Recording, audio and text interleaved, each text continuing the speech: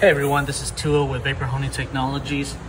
We have a customer who sent in two parts for us to blast.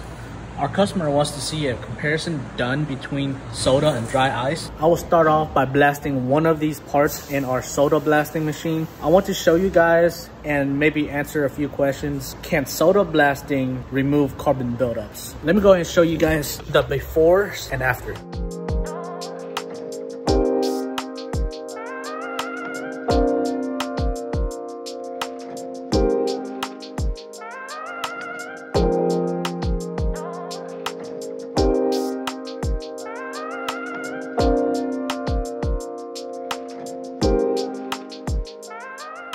All right, guys, I just got done vapor blasting this part. Here is the finished results. I was not expecting that to look this awesome. As you guys can see, soda blasting will not get you that vapor finish like glass bead will, nor will it get that dull aluminum oxide look. Soda blasting did in fact restore this part back to its original finish. Took me a little bit over two hours to get it this clean. That's also including rinsing and drying. Now, if you guys wanna see the dry ice in action and what it will look like on the other part, make sure you guys like and follow us on all our social media and also subscribe to our YouTube channel. That way you can see all the contents that we put out there. Thank you guys and have a nice day.